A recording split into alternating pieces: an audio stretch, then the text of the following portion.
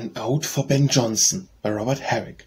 Ah Ben, say how or when shall we, why guests, meet at Roslewick Fest, made at the sun, the dog, the triple Tun?